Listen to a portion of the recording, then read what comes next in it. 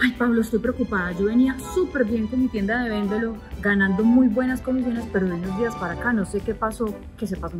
Qué raro porque tienes envíos gratis, ofertas, súper buenos productos.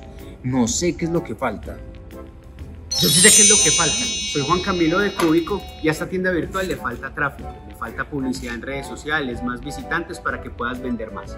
Ah, ok, o sea, Michelle, lo que tienes que hacer es visitar el enlace de esta publicación para que descubras todos los eventos gratuitos que tenemos para que aprendas sobre marketing y e-commerce. Así de fácil. Ya mismo.